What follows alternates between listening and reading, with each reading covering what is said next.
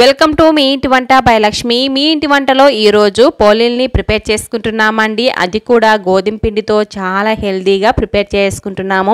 మైదా పిండితో అయితే పల్చగా వస్తాయి. గోధుమ పిండితో సరిగా రావు అనుకోవచ్చండి. కానీ గోధుమ పిండితో కూడా చాలా పల్చగా చేసుకోవచ్చు. చాలా బాగా వస్తాయండి. చేసుకోవడం కూడా చాలా ఈజీ అండి. వంటలు రాని వాళ్ళైనా సరే ఈ వీడియో ఒకసారి చూసారంటే చాలా పర్ఫెక్ట్గా చేయగలుగుతారండి. మీరు మీ ఇంట్లో తప్పకుండా ట్రై చేసి మీకు ఎలా వచ్చాయో కామెంట్ రూపంలో చెప్పడం అసలు మర్చిపోకండి. ఇక మనం లేట్ చేయకుండా విడిలోకి వెళ్ళిపోదాము. ఈ పోలీల్ని ప్రిపేర్ చేసుకోవడానికి ముందుగా ఒక గ్లాసు శనగపప్పు తీయేసుకొని రెండు నుంచి మూడు గంటల సేపు నానబెట్టుకోవాలండి. నేనైతే ఈ గ్లాస్తో ఒక గ్లాస్ తీయేసుకొని రెండు గంటల సేపు నానబెట్టేసుకున్నాను. శనగపప్పు చూసారు కదా ఎంత బాగా నానిపోయిందో. ఈ విధంగా నానిన తర్వాత ఇందులో ఉన్న వాటర్ని వంపేసుకొని ఒక కుక్కర్లో వేసుకోవాలండి శనగపప్పుని. నానబెట్టుకున్న వాటర్నే వేసుకోకూడదు. వాటర్ని వంపేసుకొని ఆ శనగపప్పుని ఇందులో వేసుకొని ఇందులో శనగపప్పు మునిగేంత వరకు వాటర్ వేసుకోవాలి. రెండున్నర గ్లాస్ వరకు వాటర్ సరిపోతుందండి. ఇప్పుడు స్టవ్ మీద పెట్టేసుకొని రెండు విజిల్స్ రాణిస్తే సరిపోతుంది విజిల్ పెట్టేసుకొని. ఇప్పుడు మరొక బౌల్ తీసుకొని ఒక గ్లాసు బెల్లం తురుము వేసుకుంటున్నాను. ఒక గ్లాసు శనగపప్పు తీసుకున్నాను కాబట్టి ఒక గ్లాసు బెల్లం తురుము తీసుకుంటున్నాను. ఇప్పుడు ఇందులోనే ఒక పావు గ్లాసు వాటర్ కూడా వేసుకుంటున్నాను. బెల్లం కరిగిన తర్వాత మనము ఫిల్టర్ చేసుకుంటామండి. బెల్లంలో ఏమన్నా నలకలు లాంటివి ఉంటాయి కదా అంతా కూడా ఫిల్టర్ అవుతుంది. ఇప్పుడు స్టవ్ మీద పెట్టేసుకొని మీడియం టు హై ఫ్లేమ్కి అడ్జస్ట్ చేసుకుంటూ ఇలా కలుపుకుంటూ ఉన్నామంటే మనకు తొందరగా కరిగిపోతుంది.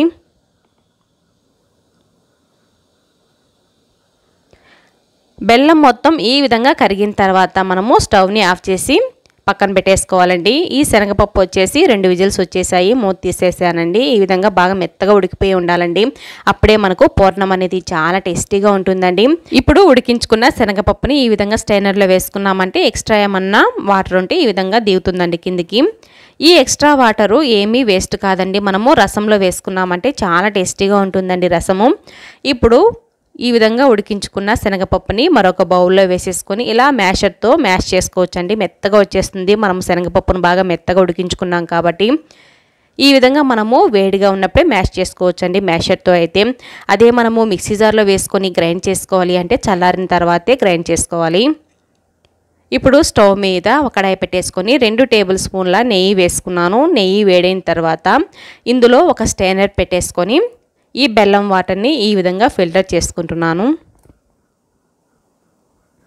బెల్లంలో ఏమన్నా నలకలు లాంటివి ఉంటే ఈ విధంగా ఫిల్టర్ అయిపోతుందండి. ఇప్పుడు ఇందులోనే ముందుగా మెదిపి పెట్టుకున్న శనగపప్పు పేస్ట్ని ఇందులో వేసుకోవాలి. శనగపప్పు పేస్ట్ని వేసుకున్న తర్వాత మొత్తం కూడా బాగా కలిసేటట్టుగా ఉండలు లేకుండా కలుపుకోవాలి. పూర్ణం ఈ విధంగా చేసుకోవడం వల్ల టేస్ట్ చాలా బాగుంటుందండి. అంతేకాదు మనకు ఎక్కువ రోజులు కూడా నిల్వ ఉంటుందండి ఈ పూర్ణం అనేది. అలాగే మనము శనగపప్పు ఉడికించుకొని బెల్లం కలిపేసుకొని చేసుకుంటూ ఉంటారు కదా. ఆ విధంగా చేసే పూర్ణం కంటే ఈ పూర్ణం చాలా టేస్టీగా ఉంటుందండి. పూర్ణం కూడా అలాగే ఉట్టిదే తిన్నా చాలా టేస్టీగా ఉంటుంది. ఇప్పుడు ఇందులోనే ఒక కప్పు పచ్చి కొబ్బరి తురుమును కూడా వేసుకున్నాను. పచ్చి కొబ్బరిని మిక్సీ జార్లో వేసుకొని ఇలా పౌడర్లాగా చేసి వేసుకున్నాను. తర్వాత హాఫ్ టేబుల్ స్పూన్ యాలకుల పౌడర్ని కూడా వేసుకొని ఒకసారి బాగా కలుపుకుంటున్నానండి. ఇదంతా మనము మీడియం ఫ్లేమ్లో పెట్టేసుకొని చేసుకుంటూ ఉండాలి. మూత పెట్టేసుకొని మధ్య మధ్యలో చెక్ చేసుకుంటూ ఇలా కలుపుకుంటూ ఉండాలండి అడుగు అంటకుండా. ఇదంతా కూడా బాగా దగ్గర పడేంత వరకు చేసుకోవాలి.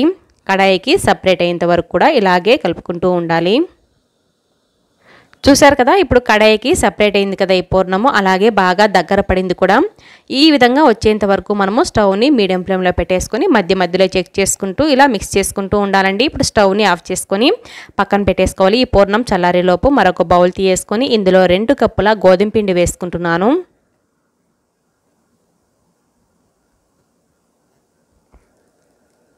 ఇందులోనే రుచికి సరిపడా సాల్ట్ కూడా వేసుకుంటున్నానండి. రెండు టేబుల్ స్పూన్ల నెయ్యి కూడా వేసుకుంటున్నాను. ముందుగా ఇదంతా కూడా బాగా కలిసేటట్టుగా ఇలా కలుపుకోవాలండి. వేసుకున్న నెయ్యి మొత్తం పిండికి పట్టుకునే విధంగా ఇలా కలుపుకోవాలి. చూసారు కదా పిండి ముద్దలాగా చేస్తే ముద్దలాగా రావాలి. ఇప్పుడు ఇందులో కొద్ది కొద్దిగా వాటర్ వేసుకుంటూ మనము పిండిని సాఫ్ట్గా కలుపుకోవాలండి. మరీ గట్టిగా కాకుండా సాఫ్ట్గా కలుపుకోవాలి.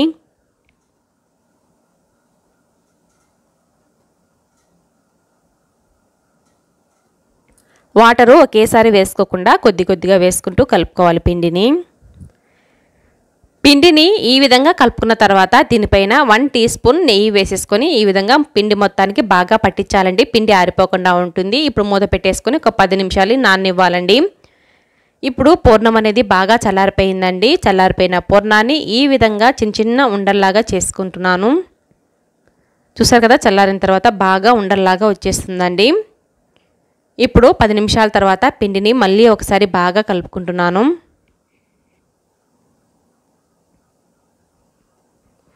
పిండిని మనము ఎంత సాఫ్ట్గా కలుపుకుంటే మనకు పోలీలు అంత పల్చగా వస్తాయండి. ఇప్పుడు ఆయిల్ కవర్ తీసేసుకొని దానిపైన నెయ్యి రాసేసుకొని వీడియోలో చూపించిన విధంగా ఇలా పిండి ముద్దను తీసేసుకొని ఇలా లైట్గా స్ప్రెడ్ చేసుకున్నానండి ముందుగా. ఇప్పుడు ముందుగా చేసుకున్న పూర్ణం బాల్ని ఇందులో పెట్టేసుకొని పిండి మొత్తాన్ని కూడా ఈ విధంగా పొన్నం బాల్ చుట్టూ ఇలా కవర్ చేసుకొని రౌండ్గా చుట్టేసుకుంటున్నానండి మనము పిండిని అతుకు వేసాం కదా ఆ అతుకును కిందికి వచ్చేటట్టుగా పెట్టేసుకొని పైన ఇలా స్ప్రెడ్ చేసుకోవాలి చేత్తో. మరొక మెథడ్లో కూడా ఈ పోలీల్ని చాలా పల్చగా స్ప్రెడ్ చేసుకోవచ్చు అండి అది కూడా చూపిస్తాను మీకు. ఇది ఫస్ట్ మెథడ్లో ఈ విధంగా చేత్తో స్ప్రెడ్ చేసుకోవచ్చండి. ఈ విధంగా చేత్తో తీయేసుకొని ఇప్పుడు స్టవ్ మీద ఒక రోటీ ప్యాన్ పెట్టేసుకొని దీనిపైన నెయ్యి రాసేసుకున్నానండి. నెయ్యి రాసుకున్న తర్వాత దీనిపైన మనం ముందుగా చేసి పెట్టుకున్న పోలీని వేసేసుకోవాలి. స్టవ్ను మనము మీడియం టు హై ఫ్లేమ్కి అడ్జస్ట్ చేసుకుంటూ వీటిని కాల్చుకోవాలండి పోలీల్ని.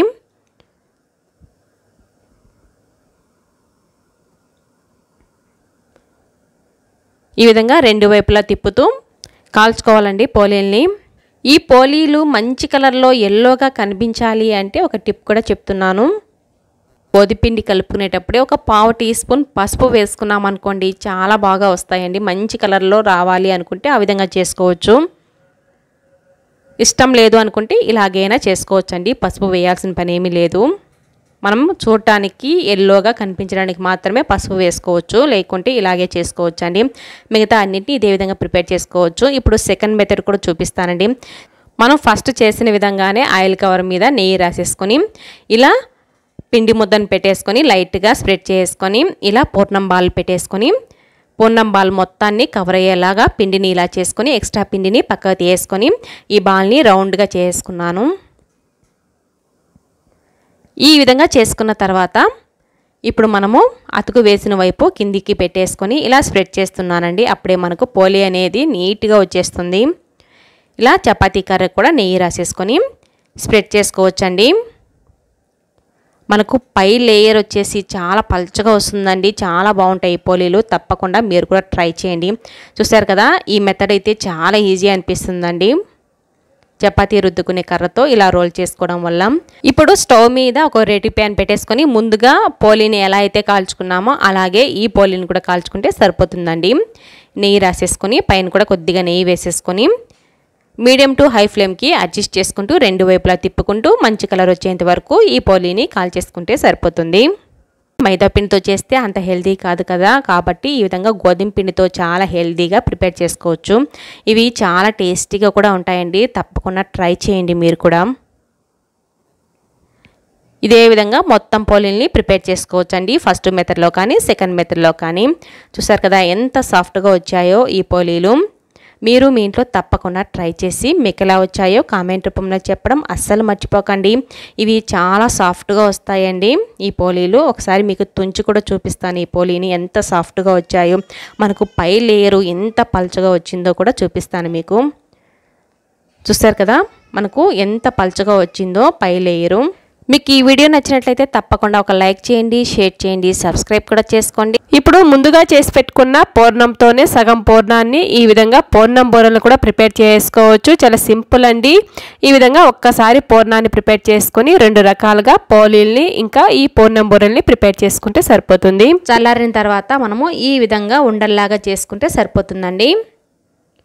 ఉండలాగా చేస్తే ఇలాగే ఉండిపోవాలండి. ఇప్పుడు పైపిండి కోసం ఒక గ్లాసు ఉద్దిపప్పు తీయేసుకొని ఈ విధంగా నానబెట్టేసుకున్నానండి. మూడు నుంచి నాలుగు గంటల సేపు నానితే సరిపోతుంది. ఈ విధంగా మూడు నుంచి నాలుగు గంటల సేపు నానబెట్టిన తర్వాత అందులో వాటర్ మొత్తాన్ని వంపేసుకుని ఇలా మిక్సీ జార్లో వేసుకుని మెత్తటి పేస్ట్ లాగా చేసుకున్నాను. గ్రైండర్ ఉంటే గ్రైండర్లో అయినా వేసుకోవచ్చండి. ఇప్పుడు ఈ ఉద్దిపప్పు పేస్ట్ని ఒక బౌల్లోకి వేసేసుకున్నాను ఈ విధంగా. ఇప్పుడు ఇందులోనే రెండు నుంచి మూడు టేబుల్ స్పూన్ల బియ్యపిండి వేసుకుంటున్నాను. ఈ విధంగా బియ్యపిండి వేసుకోవడం వల్ల ఈ బొరెలు అనేటివి పైన కోటింగ్ చాలా కరకరలాడుతూ వచ్చేస్తాయండి. ఈ విధంగా ఒక సైడ్కే బాగా కలుపుకోవాలండి ఇప్పుడు. ఈ విధంగా కలుపుకోవడం వల్ల పిండిలోకి గాలి వెళ్ళి చాలా ప్లఫీగా వస్తుందండి పిండి అనేది. అదే మనము గ్రైండర్లో వేసుకున్నామంటే ఇలా కలుపుకోవాల్సిన పని లేదండి. మిక్సీ జార్లో వేసుకున్నాం కాబట్టి ఇలా కలుపుకోవాలి.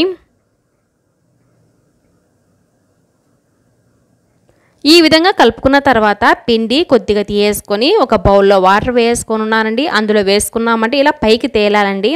అప్పుడే పిండి అనేది కరెక్ట్గా ఉన్నట్లండి. బూరెలు బాగా తేలిగ్గా వస్తాయి చాలా బాగా వస్తాయండి. ఇప్పుడు మనం ఇందులో వంట సోడా కూడా వేయాల్సిన పని లేదండి. పిండిని ఈ విధంగా కలుపుకున్నాం అనుకోండి వంట సోడా కూడా వేయాల్సిన పని లేదు. ఇప్పుడు ఇందులో కొద్ది కొద్దిగా వాటర్ వేసుకుంటూ మనము దోశ బ్యాటర్ లాగా ప్రిపేర్ చేసుకోవాలండి ఈ విధంగా. చూసారు కదా గరిటకు ఎంతైతే పిండి అంటుకుని ఉందో అంతే పిండి బొర్రెలకు అంటుకుంటుందండి. ఈ విధంగా చేత్తో తీసినా సరే తెలుస్తుంది మనకు.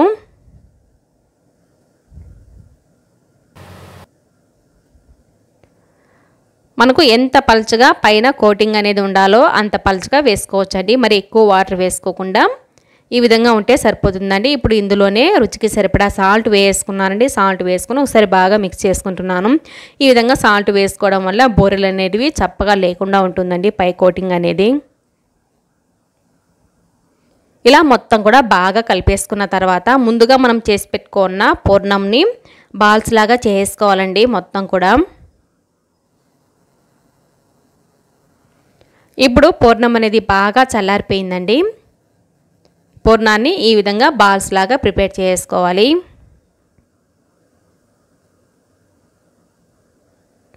ఇప్పుడు ఒక్కొక్క పూర్ణం బాల్ని ముందుగా రెడీగా పెట్టుకున్న ఉద్దిపప్పు మిశ్రమంలో ఇలా వేసుకొని ఇలా స్పూన్తో అయినా వేసుకోవచ్చండి ఆయిల్లో డైరెక్ట్గా. చేత్తో వేసుకోలేము అనుకున్న వాళ్ళు ఈ విధంగా స్పూన్తో వేసుకోవచ్చు. చేత్తో ఏ విధంగా వేసుకోవాలో కూడా చూపిస్తున్నానండి. ఈ విధంగా పిండిలో వేసుకొని పిండి మొత్తం కూడా పొర్ణానికి మొత్తము కవర్ అయ్యేలాగా ఇలా ముంచేసుకొని ఒక సైడ్కి పిండి తీయేసుకొని వేసేసుకోవాలండి. ఇలా ఆయిల్లో జాగ్రత్తగా మూడు వేల సహాయంతో ఇలా వదిలేయాలి ఆయిల్లో.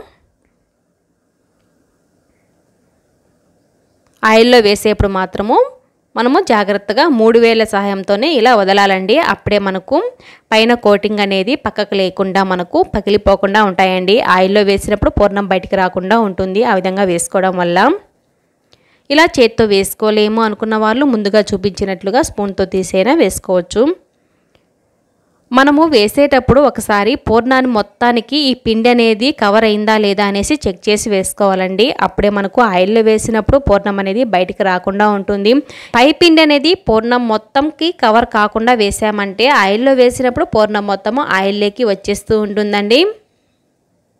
ఇలా మనము వేసేసుకున్న తర్వాత మీడియం ఫ్లేమ్లో పెట్టేసుకొని ఇలా మిక్స్ చేసుకుంటూ ఉన్నామంటే అన్ని వైపులా మంచి కలర్లోకి వచ్చేస్తాయండి. చూసారు కదా? ఈ విధంగా వచ్చిన తర్వాత పక్కకు తీసేసుకుంటే సరిపోతుంది. మొత్తం బూరెలను కూడా ఇదే విధంగా ప్రిపేర్ చేసుకున్నామండి. చూసారు కదా ఎంత బాగా వచ్చాయో. పైనుంచి క్రంచీగా లోపల సాఫ్ట్గా చాలా బాగుంటాయండి ఈ బూరెల్ని ఒక బూరె మీకు తుంచ కూడా చూపిస్తానండి. పై లేయర్ వచ్చేసి మనకు ఎంత పల్చగా వేసుకున్నామో. తుంచుతుంటే తెలుస్తుంది కదా పైన మనకు లేయర్ అనేది క్రంచీగా వచ్చిందండి లోపల సాఫ్ట్గా ఉంటుందండి. ఈ విధంగా ఒక్కసారి ట్రై చేయండి చాలా అంటే చాలా టేస్టీగా ఉంటాయండి బూరెలు. చూసారు కదా ఎంత పల్చగా ఉందో పై లేయర్ అనేది. మీకు ఈ వీడియో నచ్చినట్టయితే ఒక లైక్ కూడా చేయండి కొత్తగా చూస్తుంటే సబ్స్క్రైబ్ కూడా చేసుకోండి మీ ఫ్రెండ్స్కి రిలేటివ్స్ కూడా షేర్ చేయండి. Thanks for watching.